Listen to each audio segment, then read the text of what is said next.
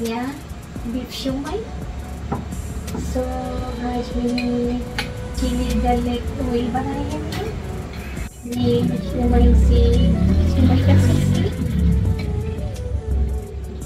Hello viewers, kumusta? Welcome to channel sa Dinay Good afternoon viewers. Sa ngayon viewers, nagawa ko shumay cake.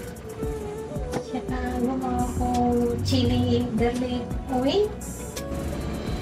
Bismillahirrahmanirrahim. Assalamualaikum everyone. Good afternoon. So today my mom will make for our snacks is beef siomai. It is my request so we will try the siomai now. So viewers, ang mara sa snacks karon. Shumay snacks kay mara. Viewers, snacks na tayo viewers.